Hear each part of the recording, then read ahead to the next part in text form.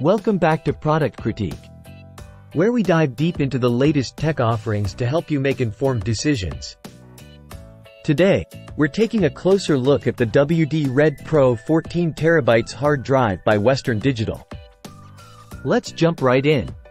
When it comes to storage solutions for your NAS, reliability is paramount.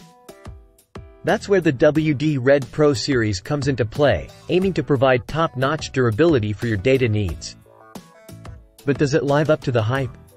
Let's find out. First up, let's talk about the key features that set the WD Red Pro 14TB apart.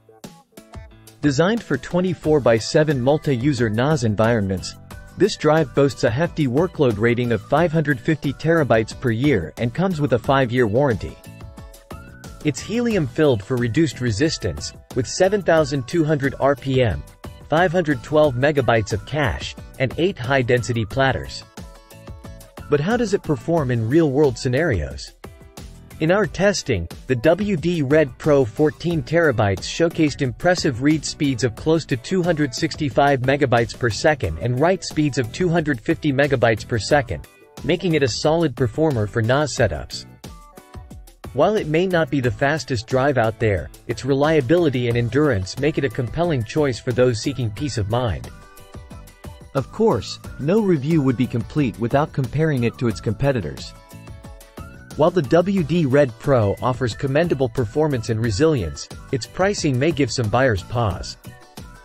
When stacked against alternatives like the Seagate IronWolf Pro, the decision becomes a bit more nuanced. Ultimately, it boils down to your specific needs and budget. So, should you consider investing in the WD Red Pro 14TB?